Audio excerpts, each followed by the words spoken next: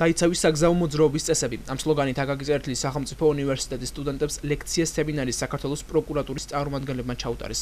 აღნიშნული კამპანიის მიზანია საზოგადოებას ინფორმაცია მიაწოდონ თუ რა სავალალო შედეგის მომტანი შეიძლება გახდეს საგზაო წესების უგულებელყოფა და რა სახის ადმინისტრაციული ჯარიმა სისხლის სამართლის დანაშაული შეიძლება მოხდეს საგზაო წესების დარღვევით. სემინარზე დამსწრე სტუდენტებს საქართველოსში დაფიქსირებული დარღვევების სლაიდ-შოუ და ვიდეო რგოლები უჩვენეს.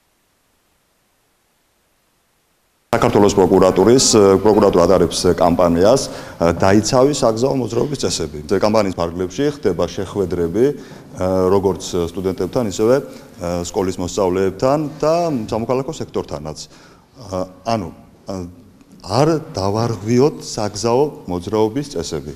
ეს არის რა სახის დარღვევები შეიძლება იყოს ჩადენილი როგორც ზღოლის მიერ ისე თქვა თქვენთან მოსიარულეების და მგზავრების მიერ და შესაბამისად რა ცუდ და სავალალო შედეგებამდე მიგვიყვანს თქვათ.